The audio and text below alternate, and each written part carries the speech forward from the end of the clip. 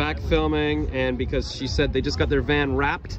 We did. We just got it wrapped. Oh my Brand gosh. new. She's looking shiny. That is beautiful. Look They're at that. the same people who did Velma the Veggie Van, who Yes. you may have seen around the city. So what is Velma the veggie van? Velma the Veggie Van uh, goes around the city and she rescues food from local grocery stores and she helps us deliver meals from local businesses Ah. to other local social service agencies. That's so we so work good. with uh, Somerset West Community Health Center, we work with the Pinecrest Queensway Community Health Center, St. Joe's. We work with uh, over 32 social service agencies around the city. Oh my god, you're like the hub. Everything comes back to you. Everything. Velma, wasn't she on uh, like Scooby-Doo? Is that where that's from? or it just starts with V and so does Veggie, I guess. Yep. I Velma the Veggie Van. She was named by our community. Okay, I like it. Yeah, because I only know this because it was trending on Twitter this week, the old Scooby-Doo movie that's 20 years old, and they were like, look at Velma dancing or whatever. so that's why it's top of mind. I wouldn't have known that otherwise. But uh, that's good, because I'm always worried, because you always, you always hear like restaurants and grocery stores, they just throw out their food at the end of the day. so like, much food. We keep stats on the amount of food that we rescue from our uh, grocery stores throughout Yeah. the city. Uh, we work mainly with Produce Depot and Whole Foods.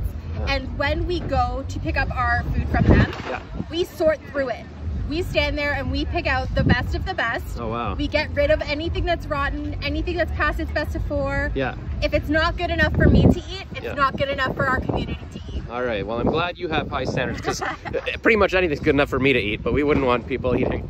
You know, I'll just go look French fries that somebody didn't eat. That's it's not a good situation, especially in the days of COVID. Like the things I used to do. Oh, I just. Uh, but uh, I'm, I'm already looking at the crumbs of your little cake that you Yeah, were giving away. here. had Yeah. amazing strawberry rhubarb cake that was made by our chefs at the Parkdale Food Center oh my gosh. because we host breakfast and lunch For our community members. No Oh questions asked. You don't have to be low income. If you want or need food, we have it for you. All right, I'm gonna come for lunch this week and vlog about it and check it out or Hey, whatever. we're open on Thursdays. All right, Thursday I'm there. Thursdays at noon. Okay, you're gonna see me well fed. I have a question about rhubarb. I don't know if you're the expert.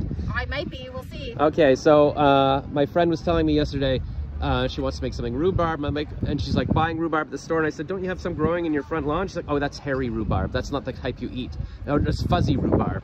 Have you heard of oh furry? I think she said. You know if there's two types of rhubarb? I have no idea. Yeah. But you know who has all the answers? No. Google and Parkdale. Parkdale knows what they're talking about, and our chefs at Parkdale have their food handlers. All right. Uh, they know. If you have questions, right. I'm sure they can answer them. All right, I'll message them, or when I come for lunch, I'll talk to the chefs. And Google, if you're listening, because I know you've become sentient. That was in the news this week. I'm just, I, I love you, and don't hurt me, please. All right, thanks so much. Anytime.